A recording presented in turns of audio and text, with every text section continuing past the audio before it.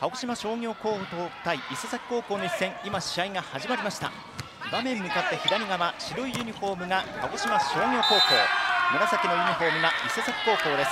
まず最初のポイントは鹿児島商業が奪っていきました。サーブに下がったのはエースでキャプテン1番の田原匠です。1人飛ばしての時間差攻撃サイドラインギリギリいっぱい入っていきました。つ抜け出しました。5対4です。バックトスからおっと1枚ブロック。この試合初めてでしょうかね。そうですね、はい。きっちりとうまく手が出てましたね。えー、レシーブしっかり上げてブロック2枚。リバウンドフォローついています。もう一度田原匠あよく拾った。苦しい体勢から中島が打ち込んでいきます。バックトスからライト攻撃。つなげるかどうか。これも返すだけになりました。チャンスボールは鹿児島商業高校。ライト攻撃を選択していきます。中島ブロック。長いラリーが続く。バックアタックもあたり。フェント気味に落としていきました。二段トスになる。畑中のスパイク。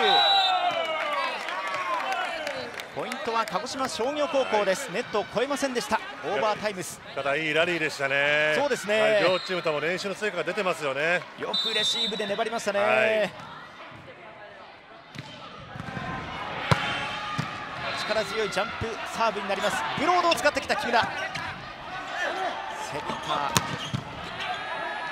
バックアタックで決めていきました。田原匠ですこれが鹿児島商業高校一つ全国で勝ち抜くために取り入れてきたバックアタック。セ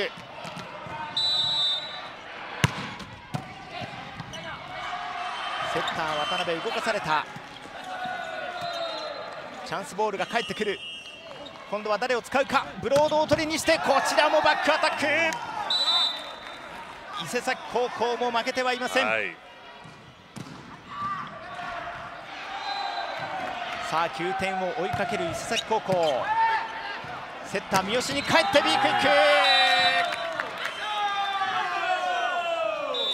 第1セットは25対15鹿児島商業高校が2回戦進出に王手をかけています。春の高校バレー男子の1回戦。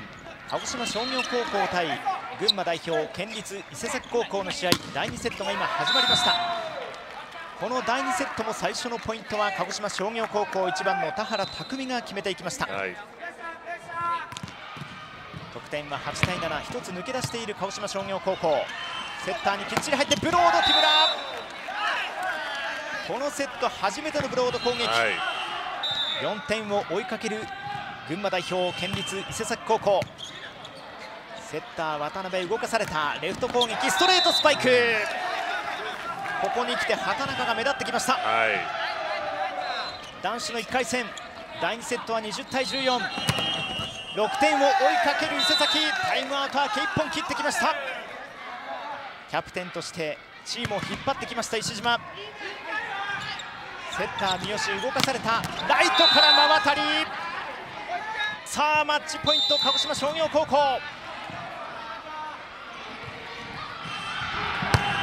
真渡りのネットインサーブ。ここもバックアタック石島。ネット上の試合。こちらは田原匠のバックアタック。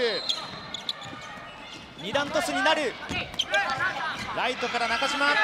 こちらはレフトからブロック2枚リバウンドフォローしっかりとついてクイックを選択してきた鹿児島商業高校。パイプを使ってきたここはキャプテンに託します。こちらもキャプテン田原匠のスパイク。最後はキャプテンの右腕。第2セットは25対18セットカウント2対0鹿児島商業高校2回戦進出です。